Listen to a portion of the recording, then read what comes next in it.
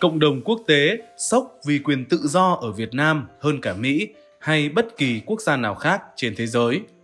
Xin chào các bạn khán giả thân yêu của Bỏ Thông Thái. Các bạn thân mến, tất cả mọi người đều sinh ra bình đẳng, tạo hóa cho họ những quyền không ai có thể xâm phạm được.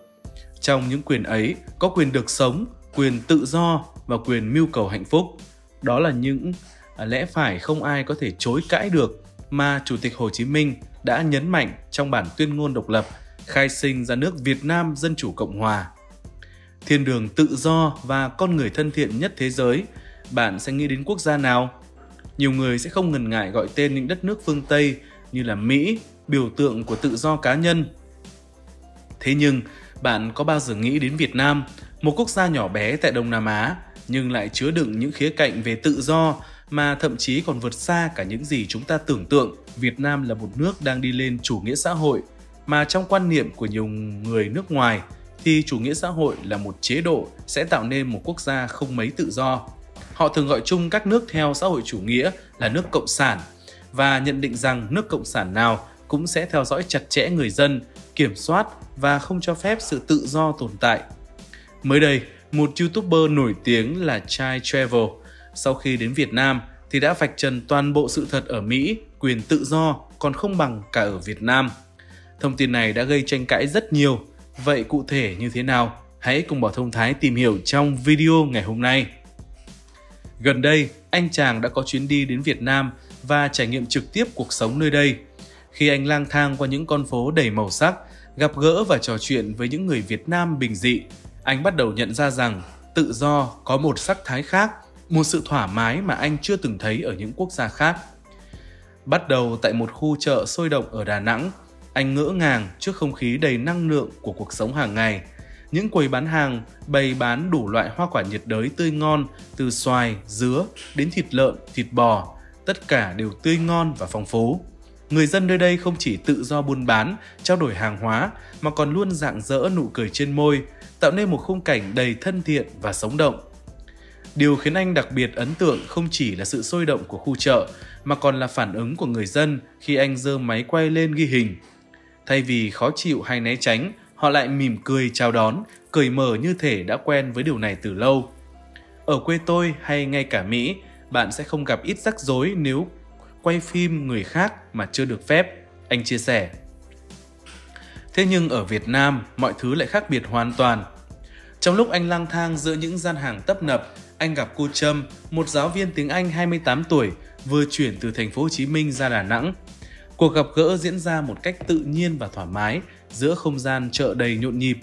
Ở những nơi như Mỹ, một cuộc trò chuyện như thế này có thể dễ dàng dẫn đến hiểu lầm hay thậm chí bị quy và tội quấy rối tình dục.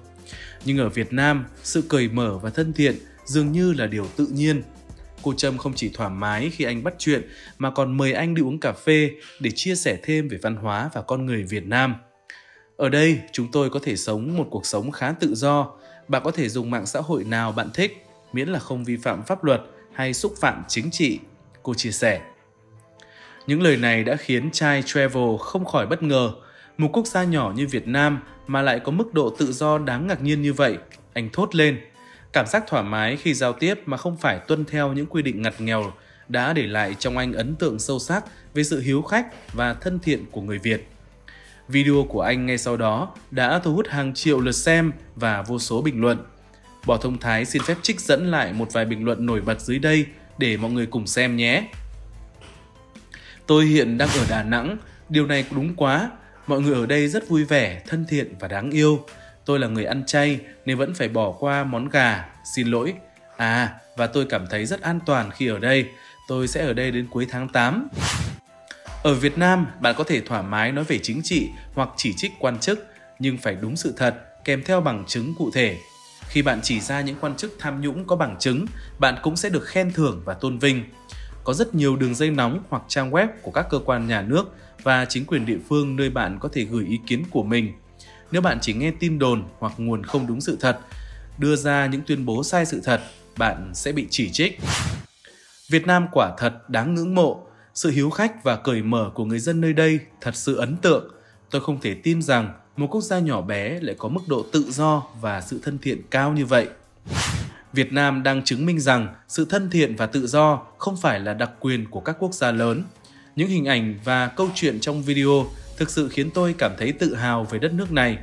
Tôi mong có dịp được đến với Việt Nam để trải nghiệm trực tiếp. Cà phê truyền thống của Việt Nam đòi hỏi bạn phải ngồi và nhâm nhi trong 15 đến 30 phút. Nó không phải là cà phê hòa tan như Starbucks. Đó là lý do tại sao bạn thấy rất nhiều người Việt Nam ngồi trong các quán cà phê. Hương vị cà phê hơi đắng và rất mạnh. Bạn có thể sẽ không quen, nhưng bạn sẽ nghiện nó đó là lý do tại sao cà phê Việt Nam nổi tiếng thế giới ngoài việc là nước xuất khẩu cà phê lớn thứ hai trên thế giới. Tôi tin rằng Việt Nam có hình thức tự do tối ưu nhất, đó là quyền được tự do, nhưng họ cũng phải chịu trách nhiệm về những gì họ có thể làm với đặc quyền này. Nếu một người lạm dụng quyền tự do của họ thì ngay từ đầu họ đã không xứng đáng với nó.